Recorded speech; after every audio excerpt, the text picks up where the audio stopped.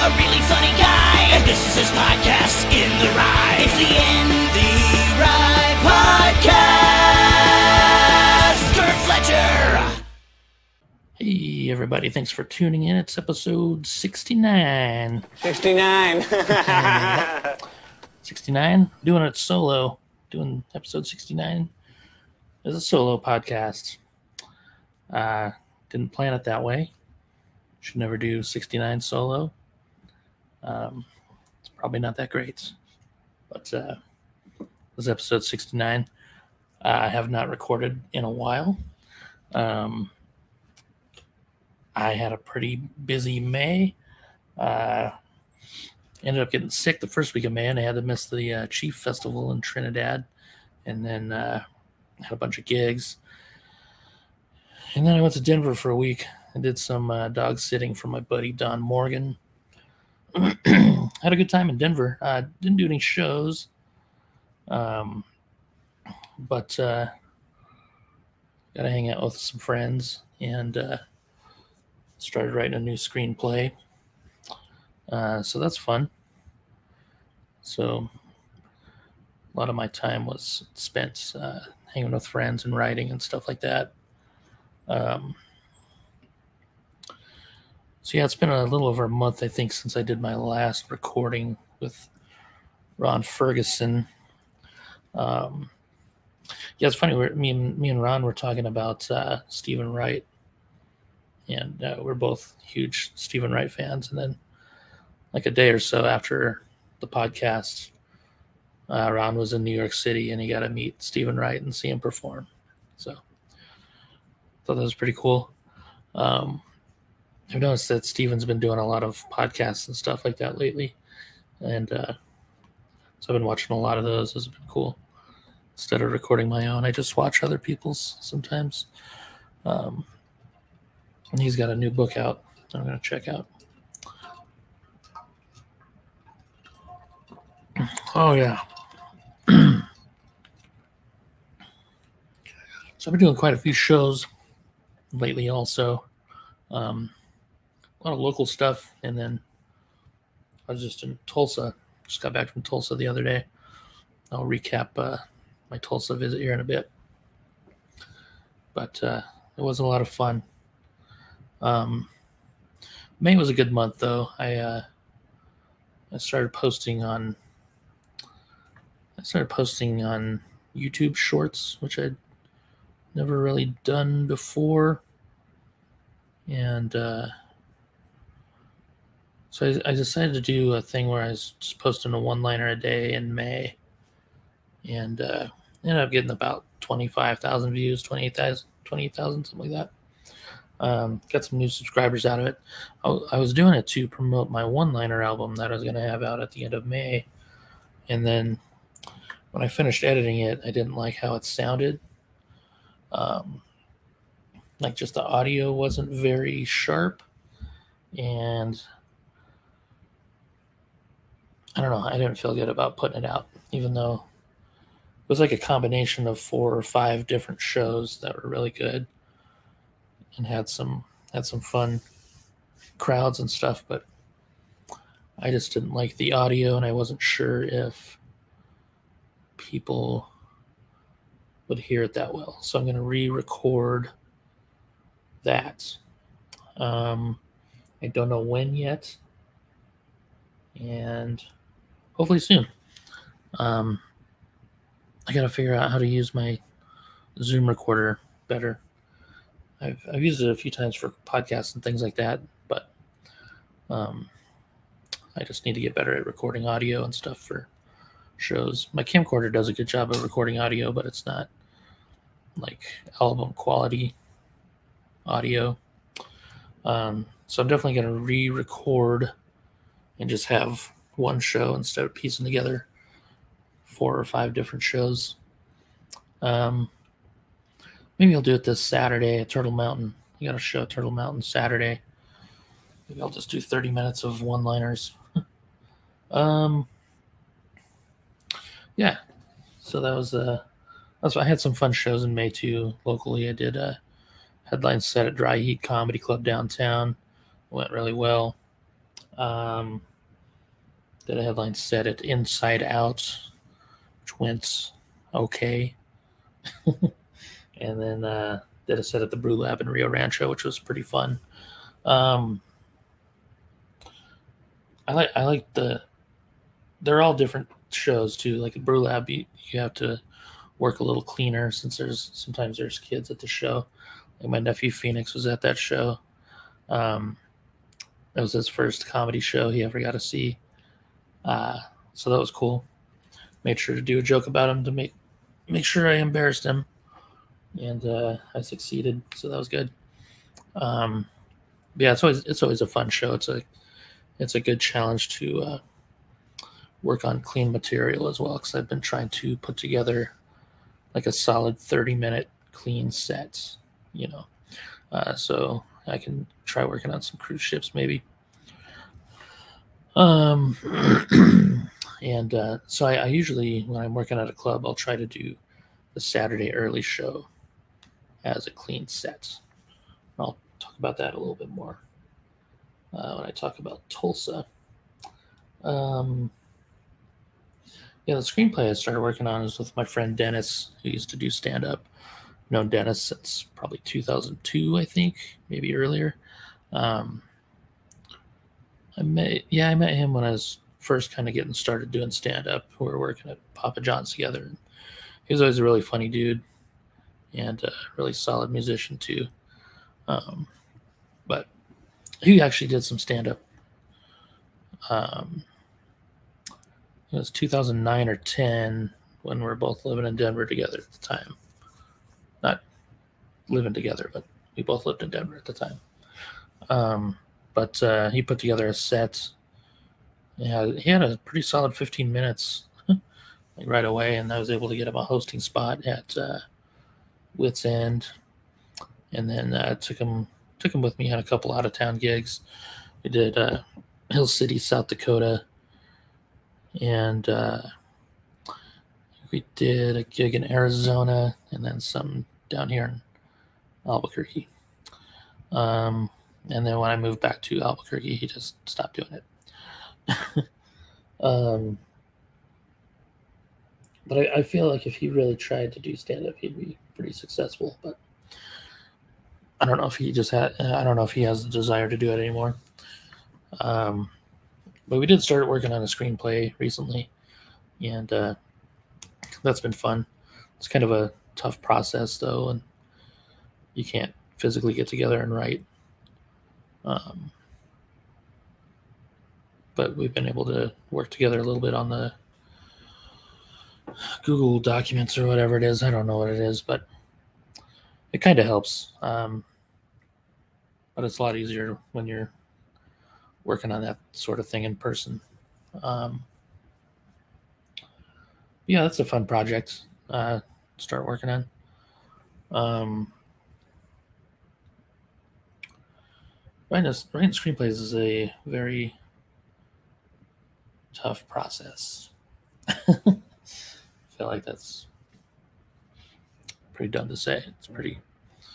Uh, I think people people know that.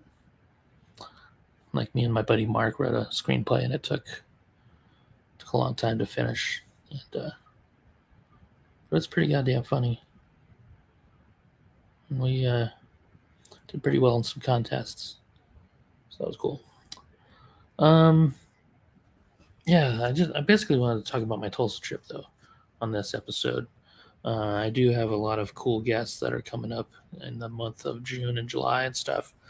Um, which I'm super excited about. Just gotta make sure our schedules line up and everything. Um, so I'm trying to decide if I want to post these on Wednesdays or Monday. I started doing them Mondays, but it gets kind of tough to do that. I feel like editing is easier earlier in the week. Um, since I have shows on weekends, usually it's kind of hard to get any editing done. Anyway, we talk about Tulsa. I had a really good time in Tulsa. Um, you know, I lived I lived in Tulsa for a few years, and uh, it's always cool going back there. Um, I do miss it a lot. It's a really cool little town. Um, I, I was excited. I got there a day early. And I was so excited because I was gonna order my favorite pizza, uh, Andolini's. They have my favorite pizza. It's called the macaroni. Well, they don't anymore, which bummed me out. Uh, it's called the macaroni pizza, but I went to order it on Tuesday night, and they no longer have it. It's not on their menu. And uh, after I got done crying, I ordered some other pizza from somewhere else that wasn't very good. It was good, but not even close to as good as Andolini's macaroni pizza. So yeah, that was a bummer. So Tulsa trip started off rough. Um, so uh, so the shows were Wednesday through Saturday. We had six shows. Wednesday they always do the open mic, which is really cool. Um, so I got to see a couple comics that I've known for a long time. Um, Shauna Blake was there. It was really funny. She was telling me she's going to do her first feature spots at the Loony Bin in September, which is super cool. Um, super hard to get bumped up to feature in your home club. So um, hopefully it goes well for her. She's really funny. I uh, also got to see my buddy Nicolo, who was who used to sell me weed when I lived in Tulsa. Um, uh, he's really funny. He's a funny little dude. He's in a band and stuff. Great dude. Um, he had a funny set. It was cool seeing him again. Uh, the show Wednesday was pretty good. It was uh, it's kind of a small crowd, you know, and uh, we we got to do less time. So I did 20 minutes, and uh, I've been trying to work out uh, jokes for my next album, and I'm trying to like figure out where I want to piece those together. Uh, so that's kind of what I worked on Wednesday night. Um, probably I feel like I did five jokes from my old album, but um, it was good to have a good set with you know the new stuff and trying to figure out where to where to place it all and everything. Plus, I still need to write probably. I don't know. I'd say another solid ten minutes at least to get a good recording by the end of the year. Um, so yeah, Wednesday was fun. Uh, the open mic, they had a few, few comics I'd never seen before. A couple of them were pretty new. You could tell. Uh, they didn't move the mic stand out of the way. I don't know why that bugs the shit out of me, but it does. that should be like one of the first things they teach you. Just move the mic stand out of the way. Just, you know, or if you're gonna use the mic in the stand, just leave it alone. But I don't know. Maybe I should tell him that, but I don't. I always feel like I'm a dick when I say shit like that. Um, all right. Thursday night was was okay too. It was kind of a small crowd, also. Um, but but they were fun. It was uh, uh, another local comic, Nicole Miller, came and did a guest set. And her sister, they were having her bachelorette party, and uh, usually when there's a bachelorette party at the comedy show, it's not good. But they were well behaved and a fun little crowd. Um, Nicole did great. Um, she's recording a special soon. That's cool. Um, so yeah, Thursday was okay. Friday was pretty fun. Um, the uh, or the first show was really good. The second show, Friday Late Show, um, they were big laughers when the MC was on stage. Her name is Kirsty Hayden from Dallas. Super, super funny. Um, they, I don't know, they were like just light laughers. It seemed like, um, with her.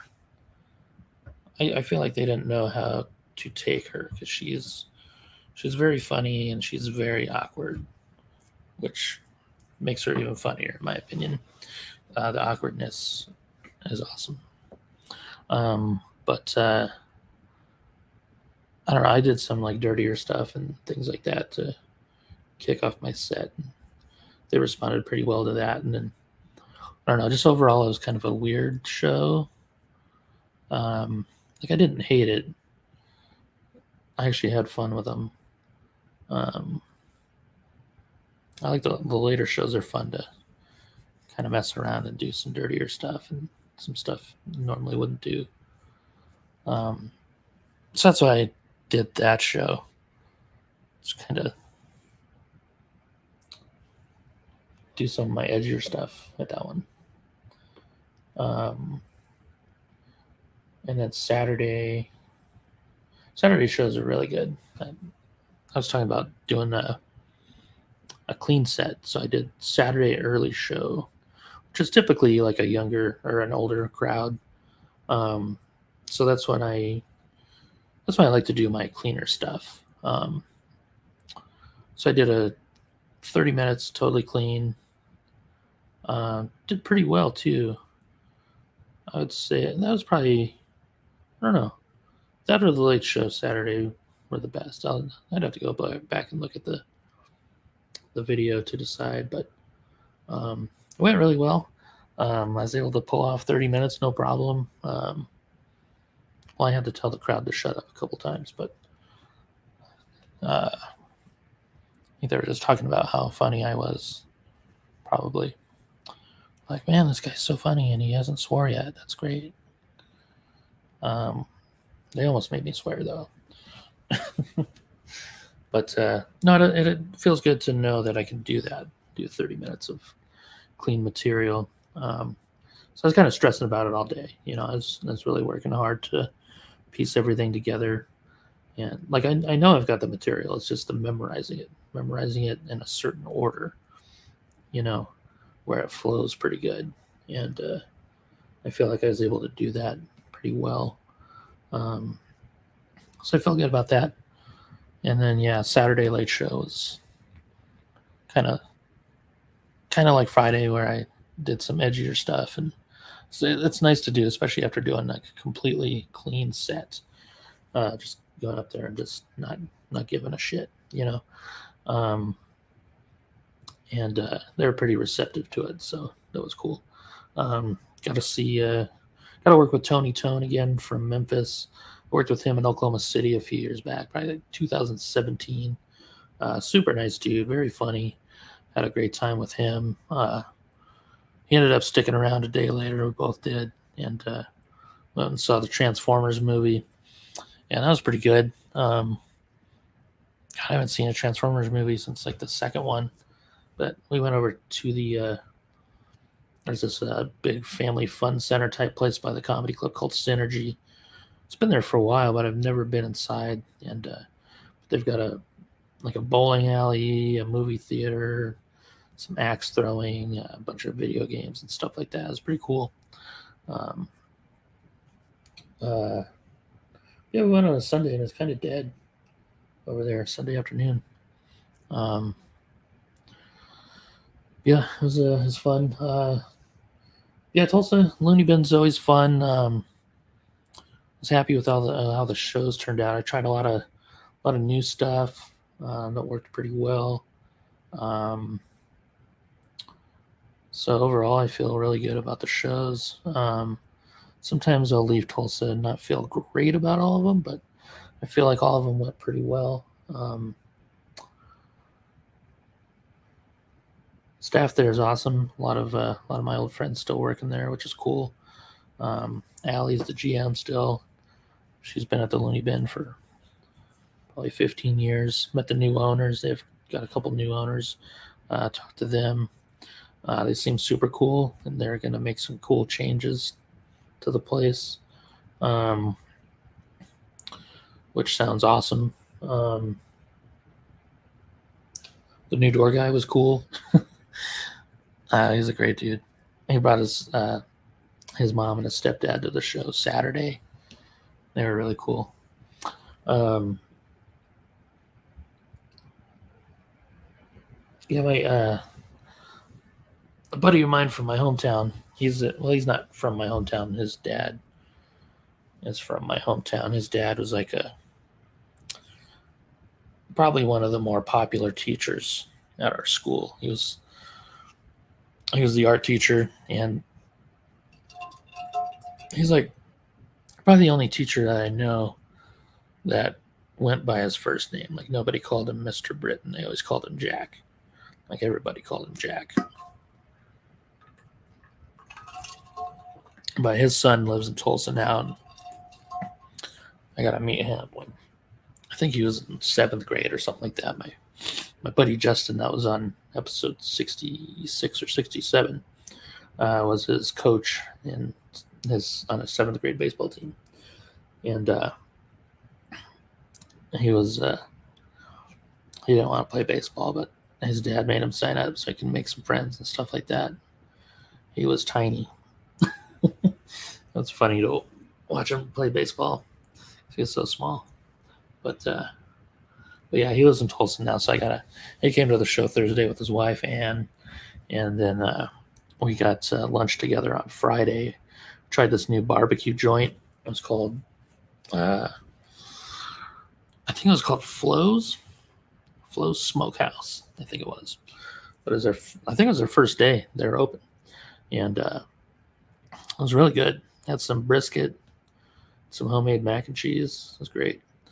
Um, really good food, and then we went downtown and had some ice cream, and then he was kind of showing me some buildings I'd never been in before, and uh, know, some of them had like some really cool architecture and stuff like that. That was pretty neat. But Tulsa's got a really cool downtown area, and um, I wish I'd spent more time down. I used to live like right by there when I lived there, but I didn't spend a lot of time downtown. Um, think like the most time I spent downtown was when I did the Blue Whale Comedy Festival. Um, but uh, never hung out there too much. Um, that's a cool area. I like it. Um, yeah, it's fun to hang out with Lane. Um, he always comes down to the shows. He's been living in Tulsa, I think, since 2018 ish or so.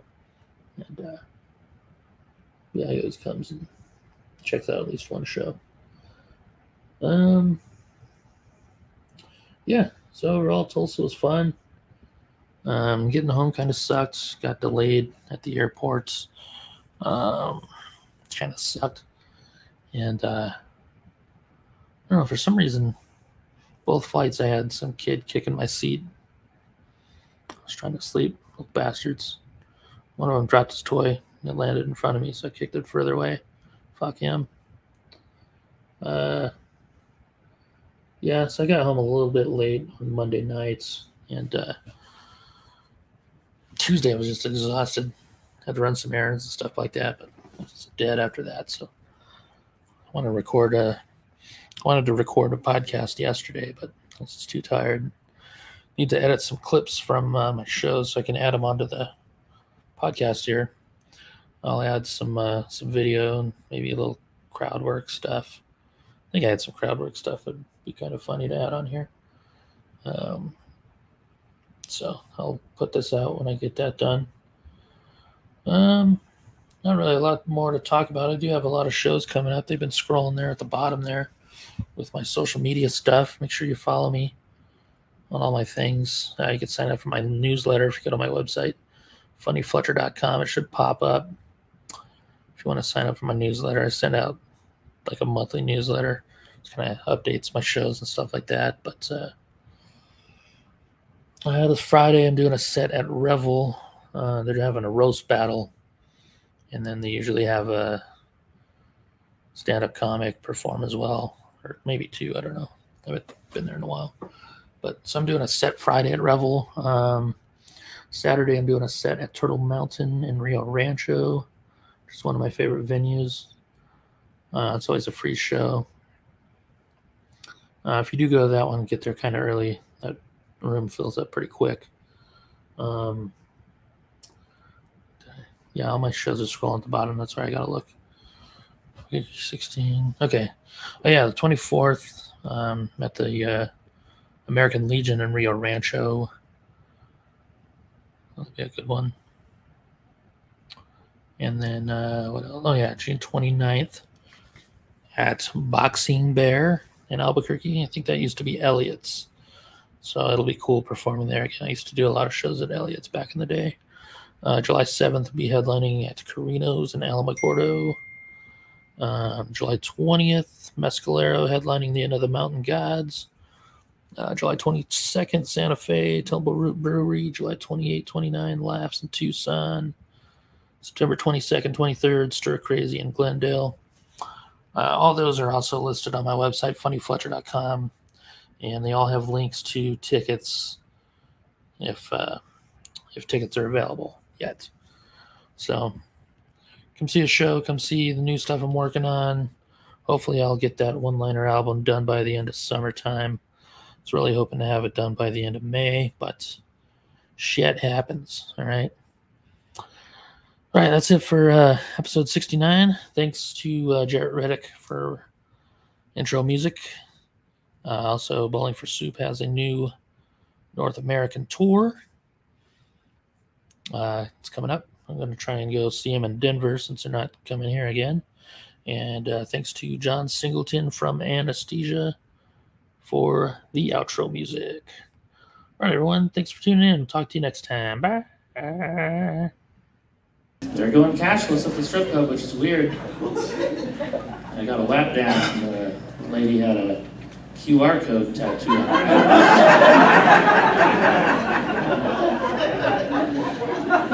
It's got a bunch of like $1 Venmo transactions.